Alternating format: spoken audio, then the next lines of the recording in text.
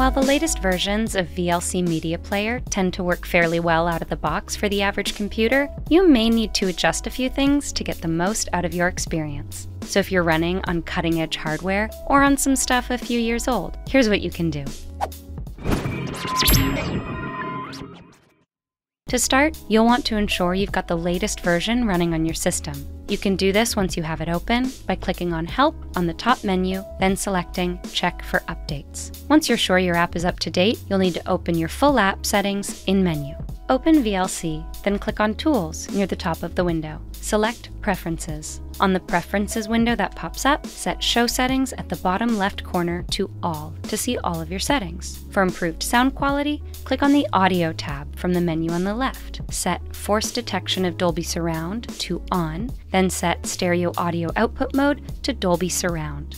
Once that's done, click on the arrow next to Audio Resampler to show more options. From here, click on Speex Resampler and set resampling quality to 10. Once that's done, click on SRC Resampler from the menu and set sample rate converter type to sinc function best quality. If you've got average to higher end hardware, click on the Filters tab under Video and click on the box next to GradFun Video Filter. After that, click on the arrow next to Filters and click on SW Scale. From here, set scaling mode to Sync R using the drop-down menu. For a general improvement in video quality, click on the Input slash Codecs tab and set file caching to 1000 milliseconds or higher.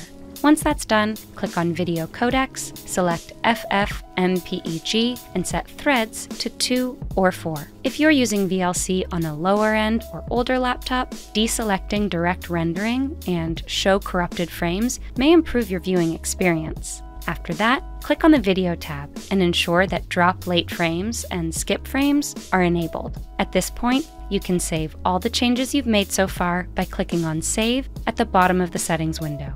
If you're still having playback issues with certain video files after making these changes, open your Simple Preferences window and click on Video. Click on the drop down menu next to Output and select Open GL Video Output or Open GL Video Output for Windows. Then click Save. If that still doesn't work, you can try sacrificing a bit of quality for some playback smoothness. Open your Simple Preferences window again and click on Input forward slash Codecs. Turn off video quality post processing by setting it from 6 to 0. Then set skip H.264 in loop deblocking filter to all. If you like this guide, make sure you subscribe for all sorts of videos covering VLC and other technology. And don't forget to check out one of these other videos we think you might enjoy.